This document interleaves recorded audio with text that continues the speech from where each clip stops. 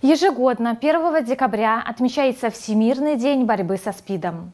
Люди во всем мире объединяются для демонстрации поддержки людям, живущим с ВИЧ, и вспоминают тех, кто умер от заболевания. На сегодняшний день такое заболевание, как ВИЧ, известно в каждом уголке земного шара. Его справедливо называют эпидемией или чумой 20-21 века. В мире на сегодняшний день проживает около 38 миллионов человек с ВИЧ-инфекцией и умерло уже более 40 миллионов. Считается, что подтвержденно умерший э, от ВИЧ-инфекции был в 1959 году. В Беларуси э, на 1 ноября проживает 24 тысячи людей с ВИЧ-инфекцией. За этот год выявлено новых случаев 1369. Рост по сравнению с прошлым годом более чем 12%, практически 13%. Наиболее неблагополучными по ВИЧ-инфекции в Беларуси является Гомельская область, второе место занимает город Минск.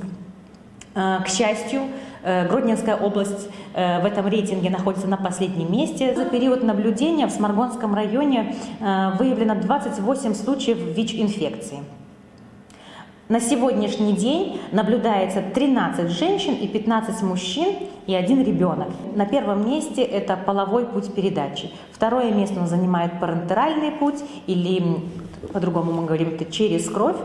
И хотелось бы здесь отметить, что через кровь это, как мы привыкли говорить, что там э, инъекционные наркоманы – это основные э, люди, которые болеют. Но, к сожалению, это не так, э, потому что Сейчас мы пользуемся все услугами мастеров, маникюров, очень распространены тату, э, салоны, и не только салоны, что вот наиболее опасно. Вот все вот эти э, способами, где э, есть контакт с кровью и может быть контакт с кровью зараженного человека, представляет опасность. Еще один путь передачи – это вертикальный, то есть путь от матери к ребенку. Это заболевание вирусное, которое поражает иммунную систему. Оно, к сожалению, на сегодняшний день неизлечимо, Однако э, лечение есть, которое помогает снизить вирусную нагрузку и минимизирует проявление заболевания конкретно у данного человека и в том числе э, снижает возможность распространения заболевания. Человек, который состоит на учете у врача-инфекциониста,